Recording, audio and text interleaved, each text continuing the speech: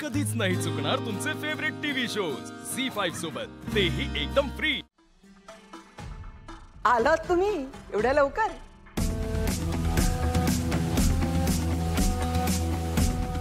नमस्कार.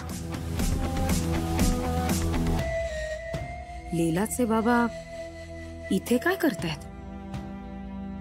नक्की काय चाललंय लीलाच्या घरच्यांचं?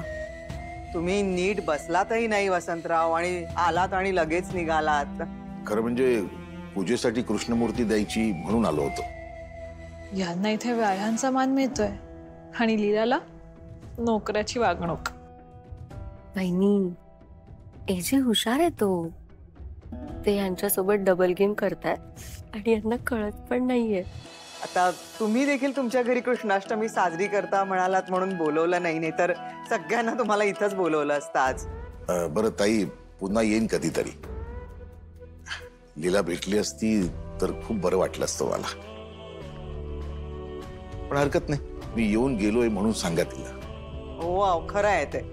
तिलाही वाईट वाटेल तुमची चुकामुक झाली म्हणून खरंच. बरं येतो बर.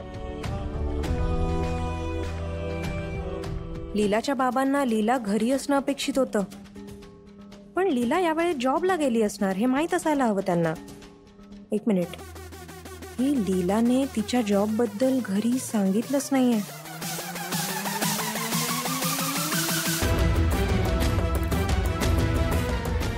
काका?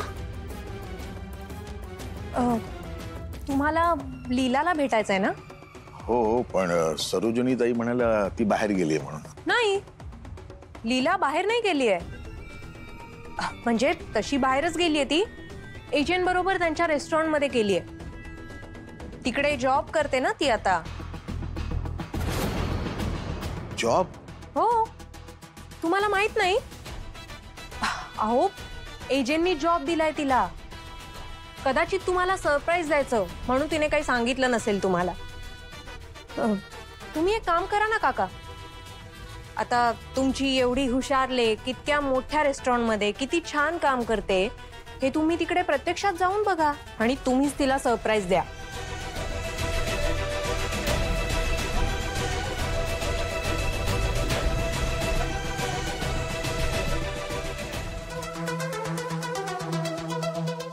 तुमच्यामुळे एजे सरांचं नुकसान होणार नाहीये तुम्ही बिंदास काम करा.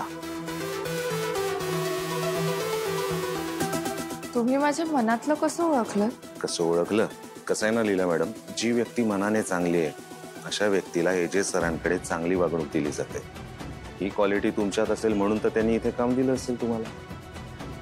आणि अशा छोट्याशा चुकीने धुळीला मिळेल इतकी लेचीपेची इमेज नाहीये एजे सरांची. पण मी खरंच ते बस आता कसलंही स्पष्टीकरण देऊ नका. तुम्ही जर अपसेट झाला असाल तर अं, मी फ्लोअर वरती तुमची रिप्लेसमेंट देतो. तुम्ही लॉबीत पाणी सर्व करा. Okay thank you